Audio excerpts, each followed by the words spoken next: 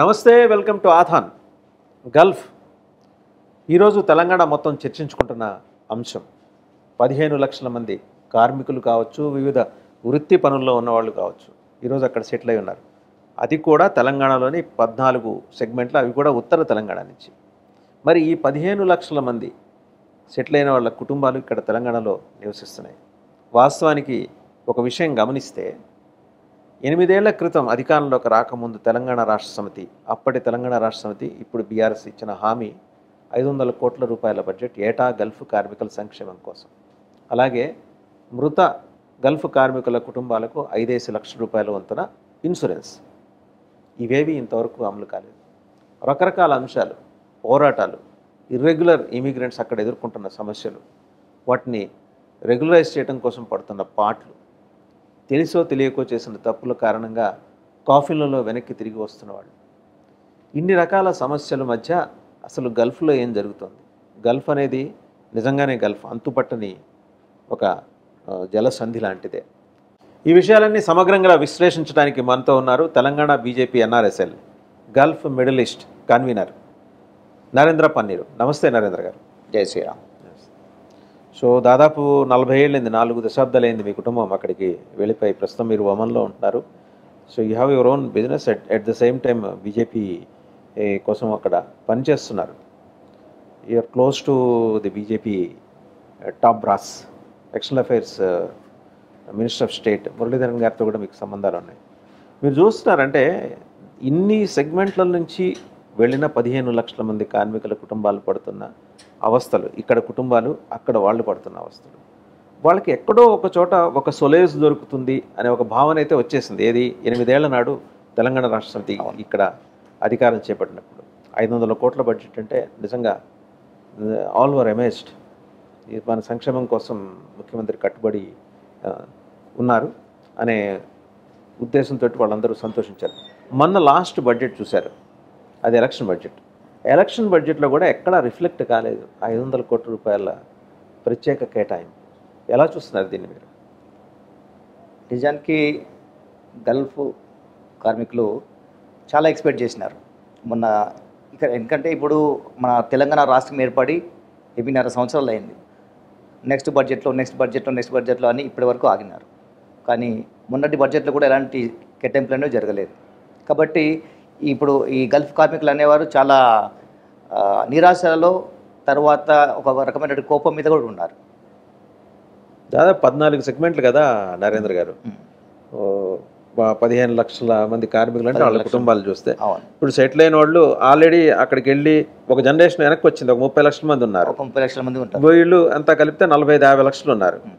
వీళ్ళ మీ వీళ్ళ కుటుంబాల సంఖ్య కూడా కలిపితే కోటి మంది. కోటి అంటే తెలంగాణ జనాభాలో ఒక కోటి మంది గల్ఫ్తో ప్రత్యక్షంగానో పరోక్షంగానో సంబంధం ఉన్నవారు వీళ్ళ ఓటింగ్ శాతం కూడా ఇన్ఫ్లుయెన్స్ చేయబోతోంది రేపు ఆ పద్నాలుగు సెగ్మెంట్లు తప్పకుండా ప్రభావితం చేయబోతున్నాము. సో ఎటువంటి ఇంపాక్ట్ ఎందుకంటే నేను ఒక సర్వే ప్రకారం చూస్తే ఏబీ సెగ్మెంట్లుగా విభజిస్తే ఒక పద్నాలుగు సెగ్మెంట్లు ఏ సెగ్మెంట్లో కనుక చూస్తే పాతిక వేల పైన ఓట్లు ఇన్ఫ్లుయెన్స్ చేసేటుంది బి సెగ్మెంట్లో ఒక ఇరవై మొత్తం ముప్పై సెగ్మెంట్లు హైదరాబాద్తో కూడా కలిపి. కానీ ప్రధానంగా ఉత్తర తెలంగాణ ఉత్తర తెలంగాణలో ఉన్నటువంటి ఒక ఈ క్రమంలో ఒక బీజేపీ నాయకుడిగా సరే మీరు అక్కడ మీ కుటుంబం అక్కడ సెటిల్ అయింది తెలంగాణతోటి మీకు సంబంధ బాంధవ్యాలు ఉన్నాయి మీరు వచ్చిపోతుంటారు వీళ్ళ గల్ఫ్ కార్మికుల సంక్షేమం కోసం మీరు మీరు చేపట్టే కార్యక్రమాలు మీరు చేస్తూనే ఉన్నారు apart from your business activity చూస్తే రేపేమన్నా మీకు అడ్రస్ చేయడానికి ఈ రెండు వేల ఇరవై మూడు ఎన్నికల్ని మీరేమన్నా ప్లాట్ఫామ్గా వినియోగించుకోబోతున్నారా? రెండు వేల ఇరవై మూడు ఒక ఎన్నికలను తప్పకుండా మేము ఒక ప్లాట్ఫామ్గా పెంచుకోబోతున్నాం ఎందుకంటే ఇప్పుడు చెప్పకపోతే ఇంకెప్పుడు మనకు. మళ్ళీ ఒక ఐదు సంవత్సరాల వరకు ఆగాల్సిన అవసరం ఉంది. కాబట్టి ఈసారి ఒక రకంగా చెప్పాలంటే గల్ఫ్ కార్మికులు బీఆర్ఎస్ ప్రభుత్వాన్ని పొందబెట్టబోతున్నారు ఇది మాత్రం ష్యూర్ ఎందుకంటే మీకు చెప్పినట్టు ఇప్పుడు వేరే చెప్పారు. ఒక కోటి ఓటు బ్యాంకు ఉంది అని. సామాన్యమైనది ఏం కాదండి ఎందుకంటే ఇంతకుముందు అంటే ఇప్పుడు అన్ని రకాలు ఇప్పుడు గల్ఫ్లో కూడా చాలా రకాల సంఘాలు ఉన్నాయి. ఇప్పుడు సంఘాలన్నీ ఐక్యంగా ఏర్పడి.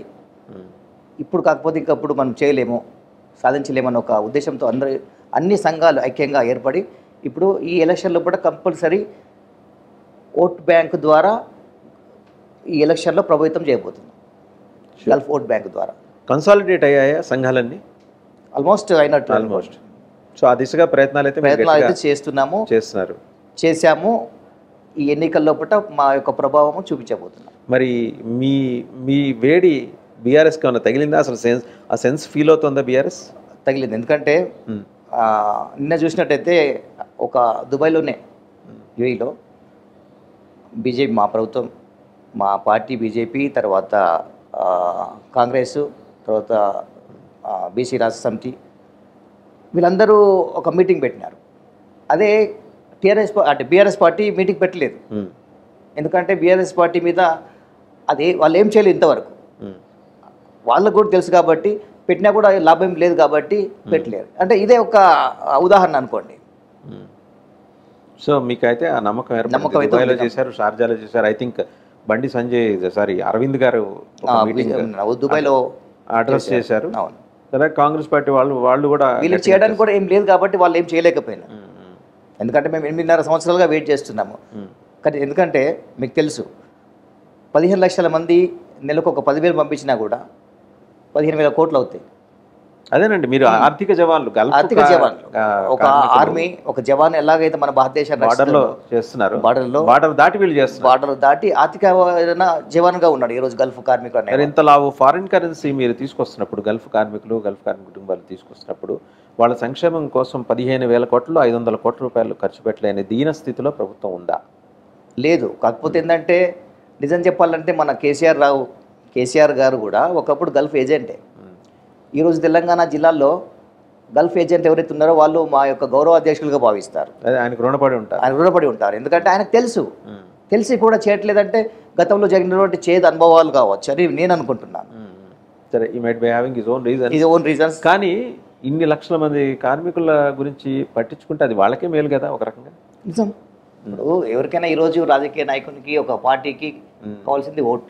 ఉమ్, బట్ ఈవెన్ దో ఒక కోటి ఓటు ఉన్నదని తెలిసినా కూడా వాళ్ళు ఏం చేయలేకపోతున్నారు. ఫైవ్ హండ్రెడ్ క్రోర్స్ అంటే it's not a big budget. Even non planning నుంచి తీయచ్చు నాన్ బడ్జెట్ చేయొచ్చు ఏ ఇప్పుడు ముఖ్యంగా భారతీయ జనతా పార్టీ ఏదైతే రాష్ట్రాల్లో ఉందో బడ్జెట్ కాకుండా నాన్ బడ్జెట్ ప్లానింగ్లో కూడా చాలా రకాలుగా గల్ఫ్ కార్మికులకు హెల్ప్ చేస్తున్నారు. ఈవెన్ ఒరిస్సా తీసుకున్న ఆంధ్రప్రదేశ్ తీసుకున్నా కూడా మన నిర్మలా సీతారామన్ గారు కూడా కేటాయింపులు చేశారు. Non budget planning. కాకపోతే ఏంటంటే మన వైపు నుంచి మన రాష్ట్ర ప్రభుత్వం ఎలాంటి రిక్వెస్ట్ పెట్టడం లేదు. దానివల్ల జరగడం లేదు.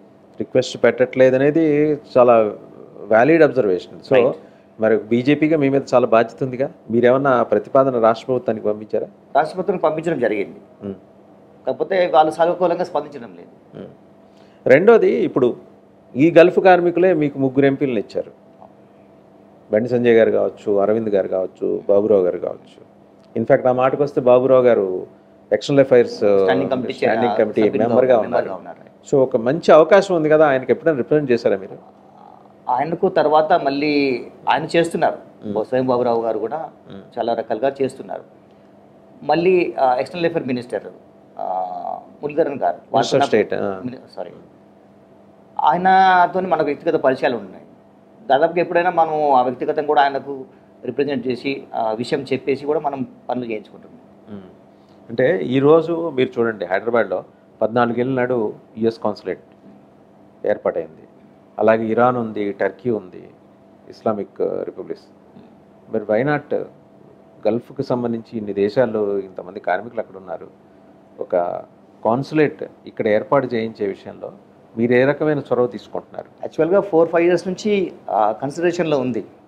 కాకపోతే ఏంటంటే ఇది not only central government state government కూడా దీంట్లో ఇన్వాల్వ్మెంట్ ఉంటుంది. ఎందుకంటే ఈ కన్సల్టేషన్ అనేది ముఖ్యంగా అంటే క్యాపిటల్ సిటీలో ఉంటాయి.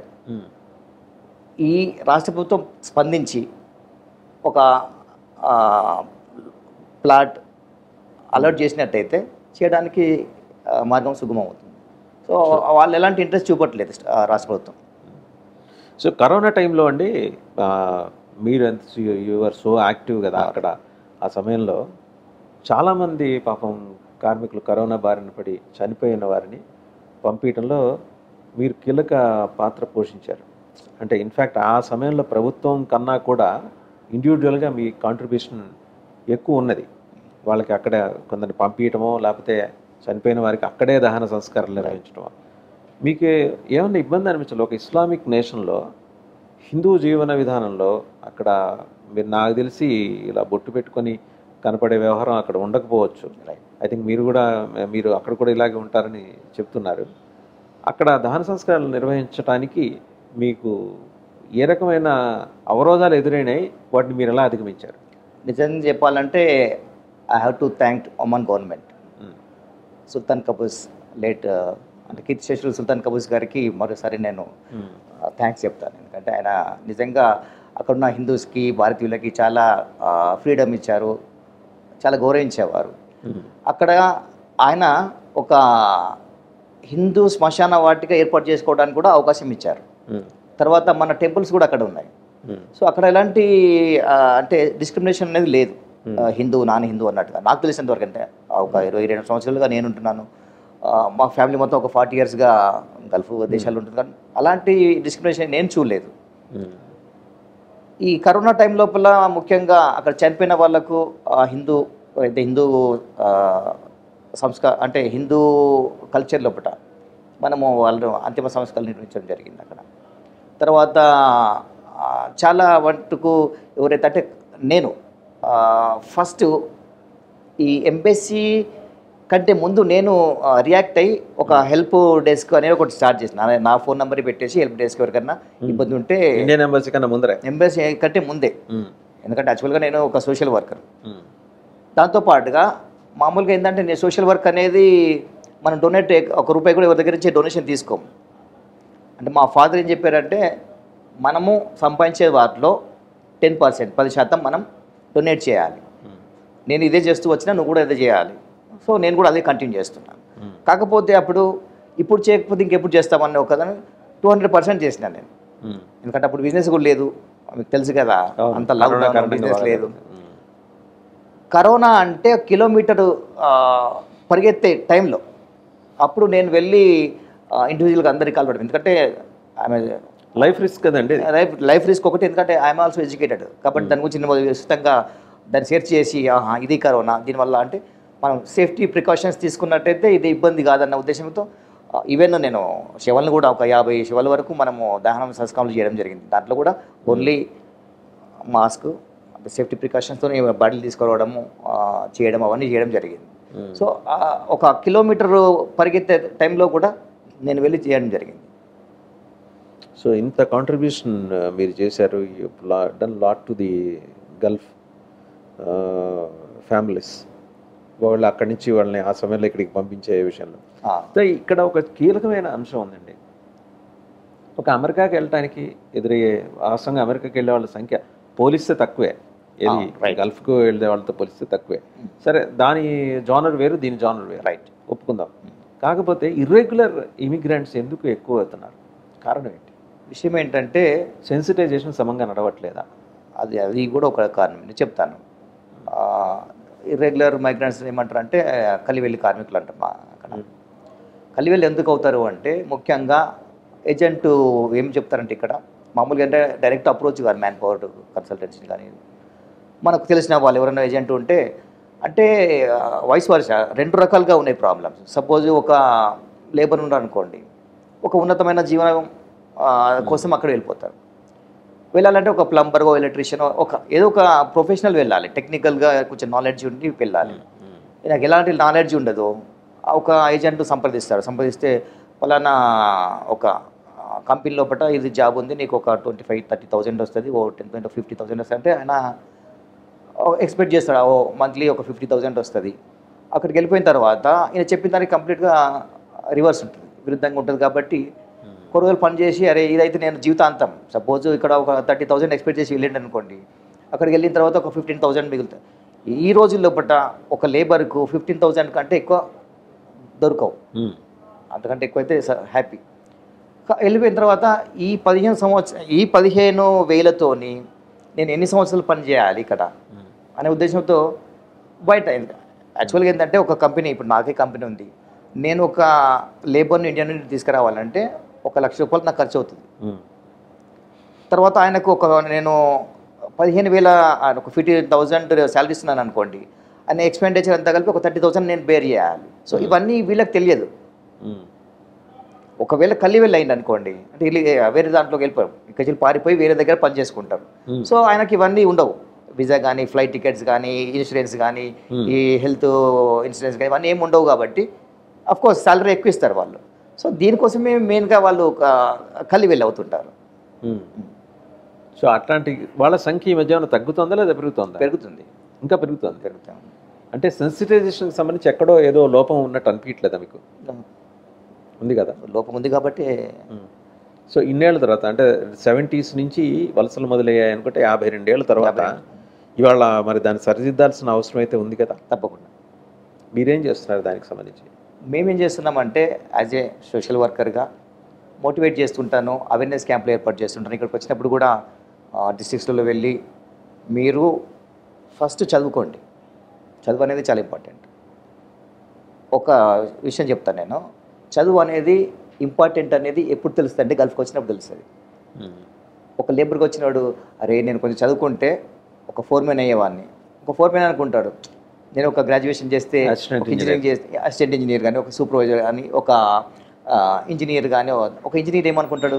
అరే నేను నాకు కొంచెం ఇంకా ఎడ్యుకేషన్ ఉంటే ఒక మేనేజర్ అవుతుంది ఒక మేనేజర్ ఏమనుకుంటాడు? అరే నాకు కొంచెం అట్లా ఎక్స్పెక్ట్ చేస్తాడు అంటే చదువు యొక్క విలువ అనేది అప్పుడు తెలుస్తుంది. ఉమ్.